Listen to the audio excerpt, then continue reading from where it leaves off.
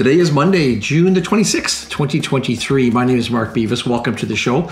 On the program today, if you've ever wondered why you didn't get a job or maybe a raise, maybe it's because your boss was cheating. We're going to look at the program today at a new law that is designed to protect Canadian employees. Plus, a lot of large retailers right now are urging caution for the remainder of 2023. We'll look at that. Also, if you have a variable rate mortgage, maybe it's time to think about possible renewal challenges and Canada Bread is fined $50 million for its role in price fixing. We're going to discuss all of that today. If you're looking for help with DIY investing, I will also put a link for our Investing Academy in the description of this video.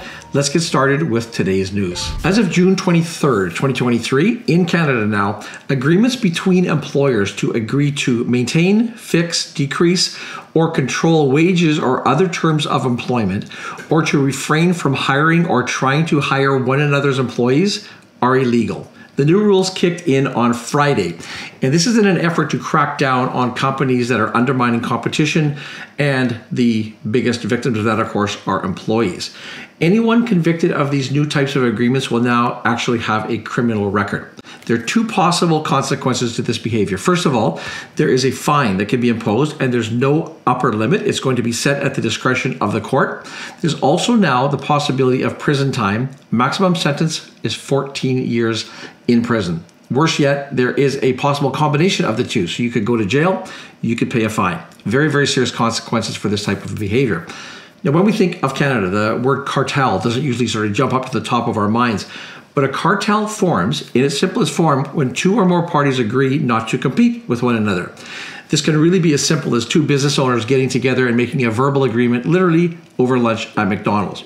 There's an incident that occurred that really seemed to uh, wrap up the focus on this type of issue. On the exact same day in 2020, Loblaw, Sobeys, and uh, Metro all ended a bonus program for their hourly workers. Now, the companies told the House of Commons committee later that year that they had acted independently sounds a little bit suspicious.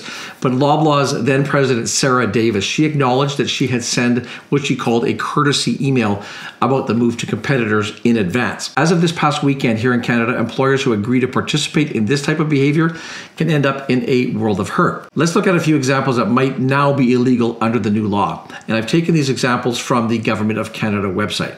Example number one Lucy owns a private medical lab, and her friend Jerry owns a chemical testing lab. Now, during a lunch meeting, they agree to limit each of their employees' annual bonuses to 5%. That, under the new law, would be illegal, could end up literally in jail time. Let me give you a second example. Company X, in this case, provides staffing and recruitment services. It enters into a staffing agreement with Company Y, and they're going to provide specialized workers for a short period of time. As part of the contract, though, companies X and Y agree not to hire each other's employees while the contract is in effect.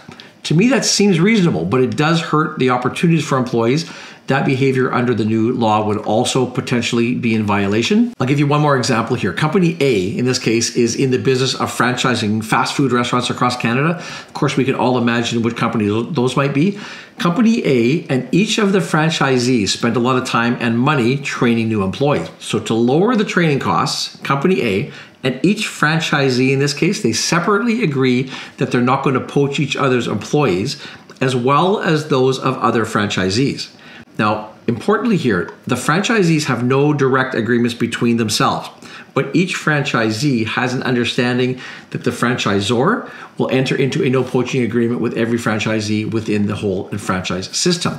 Now, in addition to this, the franchisees want to establish a system amongst themselves where they will recoup the training costs if they do in fact uh, poach an employee instead of relying on the franchisor's enforcement of the no poaching restraint. Now, under the new law, again, these types of agreements are illegal. It's notable these rules only apply to unaffiliated employers. So agreements between two or more corporations that are controlled by the same parent company, they do not violate these provisions.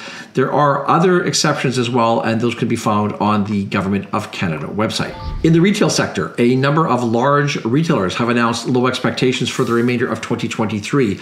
Macy's, Target, and uh, Dollar General. They've recently warned investors about weaker sales that they're anticipating throughout the rest of the year as customers are shifting their spending more towards essentials. Lydia Boussour, she is the senior economist at EY. She says, we expect the slowdown in consumer spending to accelerate in the second half of the year as labor market gains falter, the buffer from excess savings shrinks, and credit conditions tighten further. Also, Mark Erceg, who's a CFO at Newell Brands. This is the company that makes Rubbermaid products and it makes uh, Mr. Coffee coffee makers.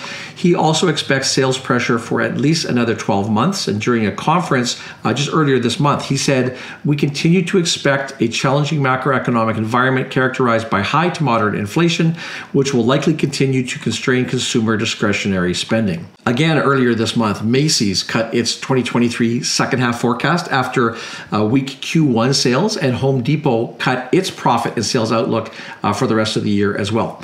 So far, in 2023, the economy has looked pretty good, actually. And I would say enjoy this, participate in it, but don't lose sight of the possible risks that a lot of these bright minds are predicting. I would say, let's face it, all of the companies that I just talked about would much prefer to you know, report good news and glowing expectations. That's what they like to do. But the fact that so many of them are giving the, us these warnings of the trouble ahead should give us all uh, pause. As I noted on this program last week, a lot of Canadians have gotten into a situation where they've extended the amortization of their uh, mortgages in light of the rising interest rate environment that we're in right now.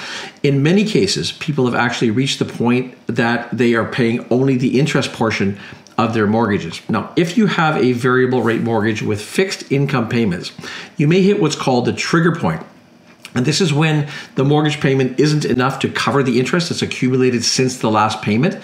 Obviously, uh, paying only the interest portion of your mortgage is a sort of a temporary step that can prevent uh, your mortgage from defaulting, but it really is only a band-aid solution, and it can't uh, can, you can't continue along those lines forever.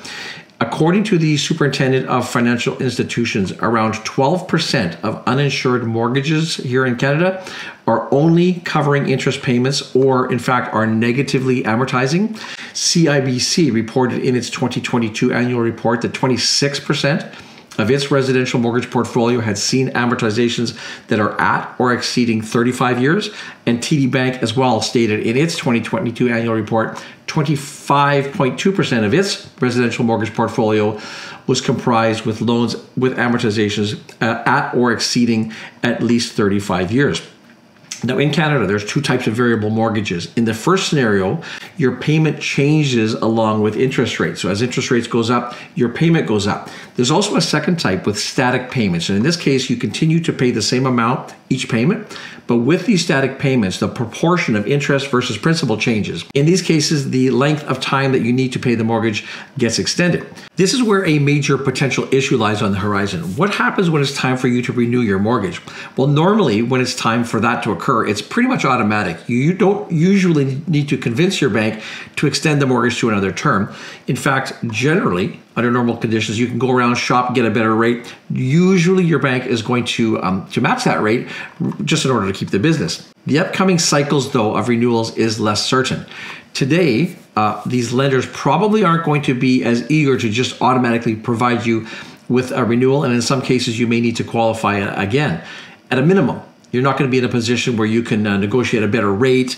Uh, you're basically going to be at the mercy of your bank. If you do have a mortgage that is coming up for renewal within the next year or two, it's important to put some focus on that today. If you're in a position that you can't afford a renewal, at today's higher rates, you may need to do things like seeking alternative funding, or in a worst case scenario, it's possible you may even be forced actually to sell your home, take up alternate housing until things get back to normal. We started today's episode talking about employers cheating their employees, and now we're going to end with companies cheating us all. Canada Bread, which is one of Canada's largest bread makers, has agreed to pay at least $50 million for its role in colluding to fix the price of bread. In court last week, they acknowledged that under a previous management, it had colluded with its competitors in Canada's banking industry.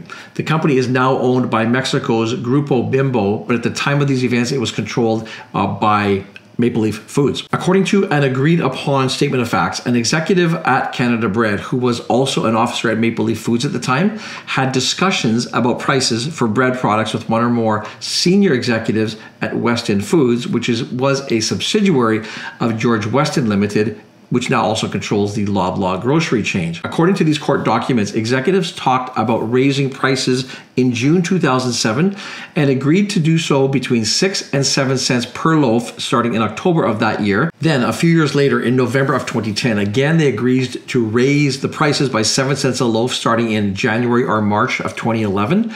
But I guess since the first scam worked so well, they met again in January of 2011 and agreed to double the amount to 14 cents a loaf starting in February, higher prices earlier, you know, a win-win for the companies until they got caught.